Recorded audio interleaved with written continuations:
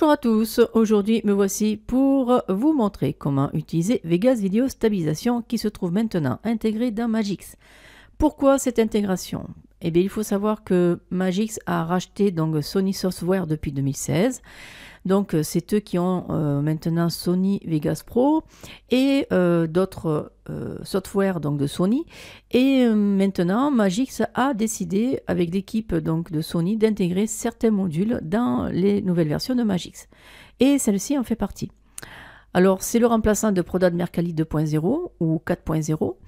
Alors, sachant que Prodad Mercalli, c'était donc un plugin qui était intégré sur la version premium. Lorsqu'on achetait la version premium, on avait droit à avoir donc une clé euh, par rapport à, l'achat de ce, de ce pack Magix et on avait donc ce stabilisateur qui était intégré.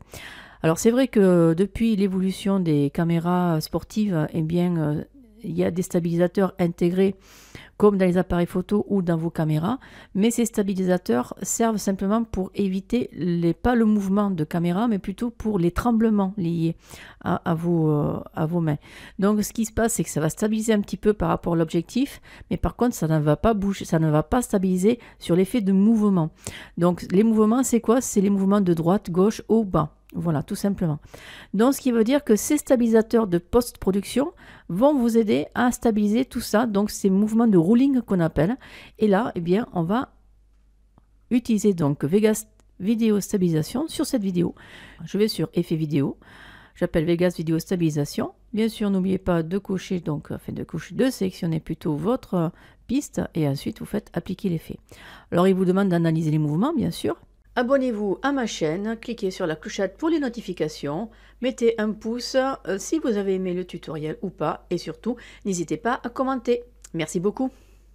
Voilà, et là il a fait un zoom automatique, ce qui est logique, puisque si on enlève le zoom, vous allez voir que le travail que fait le plugin, vous allez voir les mouvements que vous, vous avez créés par rapport à la captation de, ces, images, bien que vous êtes allé à droite, vous êtes allé à gauche, en haut, en bas, c'est ce que je vous expliquais au début.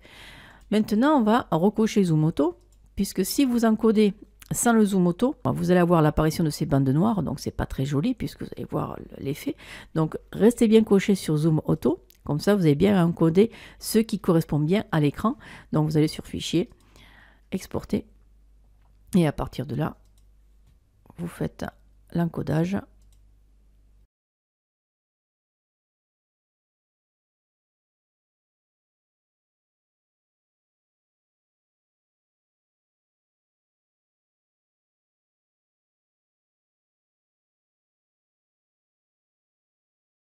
eh bien, la vidéo est prête. Vous n'avez plus qu'à l'intégrer après dans votre projet. Eh bien, ce tutoriel est terminé. J'espère qu'il vous aura plu. Je vais vous souhaiter une bonne journée et puis un prochain tutoriel. Allez, au revoir.